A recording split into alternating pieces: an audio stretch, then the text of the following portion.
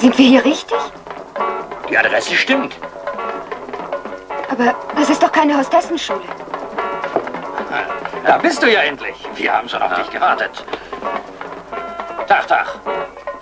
Bin ich hier richtig? Hostessenschule Bleier. Aber sicher, Lady. Im ersten Stock erwartet Sie die Frau Lehrerin. Äh, darf ich das Hostesschen hochbringen? Ich möchte lieber gehen. Lass nicht aufwarten. Sie haben...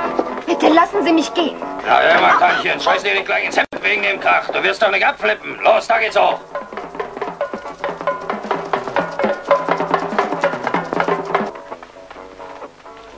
Weißt du was, wenn es dir nicht passt, dann kannst du gehen. Du kennst doch deinen Vertrag, 10.000 und dann kannst du abzischen.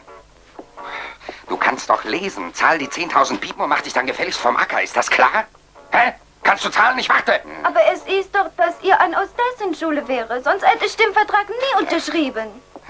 Ist denn das etwa keine Schule? Hier, das ist eine Lehrerin und ich, ich bin der Professor. Lehrerin? Du willst mich wohl verarschen, du Rabe. Denkst, du kämst aus dem besseren Urwald, hä?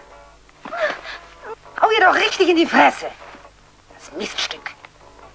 Hier was, die neue. Na, und? Die neue. Hm, Du Armleuchter, soll ich sie vielleicht einreiten?